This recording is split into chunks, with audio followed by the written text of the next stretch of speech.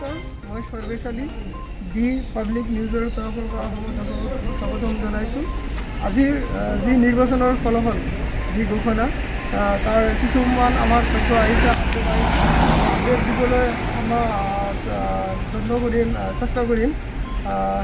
আজি সৰুকৃষ্টি সমষ্টিত কংগ্ৰেছৰ প্ৰাৰ্থী চল্লিছ হাজাৰ নশ চৌৰাশীটা ভোট পাইছে আৰু এই ইউ ডি এফৰ প্ৰাৰ্থীজনে পাইছে আপোনাৰ ছাব্বিছ হাজাৰ চাৰিশ বিৰান্নব্বৈটা ভোট আৰু এ জি পিৰ প্ৰাৰ্থীয়ে পাইছে সত্তৰ হাজাৰ তেপন্নটা ভোট আৰু বঙাইগাঁৱৰ পৰা আপডেট আহিছে আমাৰ বঙাইগাঁৱৰ পৰা বিয়াল্লিছ হাজাৰ চাৰিশ বাৱন্নটা ভোট পাইছে এ জি পি প্ৰাৰ্থীয়ে আৰু কংগ্ৰেছৰ প্ৰাৰ্থী পাইছে আপোনাৰ একত্ৰিছ হাজাৰ পাঁচশ বত্ৰিছটা ভোট আৰু আমাৰ বৰপেটা সমষ্টি বৰপেটা সমষ্টিত আপোনাৰ আহিছে পঁয়ত্ৰিছ হাজাৰ পাঁচশ আঠটা ভোট আৰু এ জি পিৰ প্ৰাৰ্থী বিছ হাজাৰ নশ একৈছটা ভোট পাইছে।